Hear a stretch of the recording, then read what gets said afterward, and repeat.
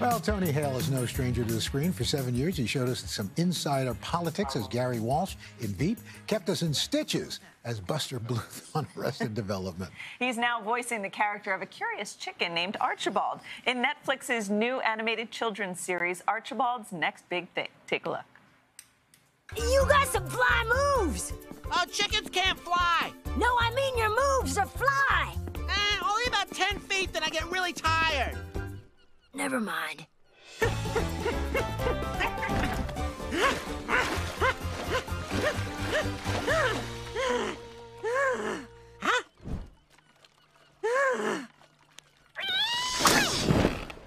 Well, that's embarrassing.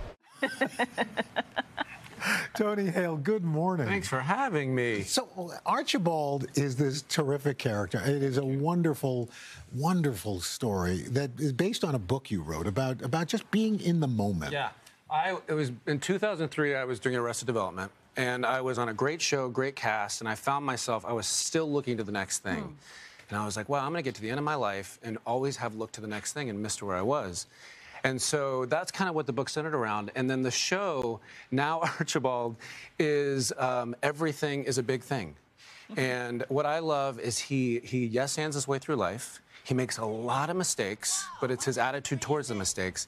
And my favorite thing is he sees the best in everyone and the best in every situation.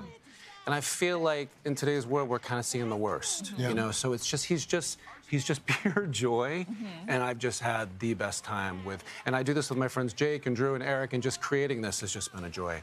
I, I'm imagining you in the booth voicing Oh, yeah. Archibald. Sure. Are you smiling the whole time? Oh. I mean, where, what is your mindset? the whole time. I mean, it's it's to to be able to, to kind of be in his voice for that period of time. I my default is not necessarily Archibald's, mm-hmm. and he's just so full of joy and so positive. So just to have that his little slice doing the recording is a blast. And you've got some great guest stars in here. You got Yeah. Julia Louis-Dreyfus. yeah, she did. She was a space monkey. of course, of course she that. Yeah, she was a space monkey. RuPaul. RuPaul came as a fashion designer. he was he was a oh, what was? I think we had Weird Weird Al was a giraffe. Julia was a space monkey.